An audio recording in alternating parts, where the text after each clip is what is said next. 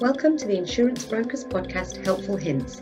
Here we break down the best, most informative bits of our full length interviews. the, the FSB uh, was established uh, in, in 1974 and it, it was originally a sort of a, a, a trade union for the self-employed was, was how they originally uh, described themselves. But they've grown and grown over the years and are now Britain's largest business organisation uh, in, in all respects, number of members, balance sheet, everything else.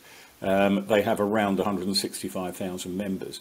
The only thing that, that binds them together is that they're all small firms um, and uh, you have the, the whole sort of range of, of trades from architect to zoo across the whole of the country uh, of, the, of the UK.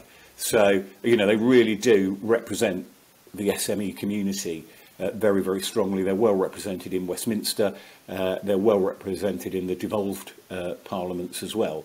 Um, and uh, they're a strong voice for small firms. Thank you for listening. If you have enjoyed what you have heard, have any questions or feedback, please leave us a review and we will be sure to get back to you. If you would like further information on how Boston Tullis Group can support your business, or if you would like to join us on an episode, please do not hesitate to contact us.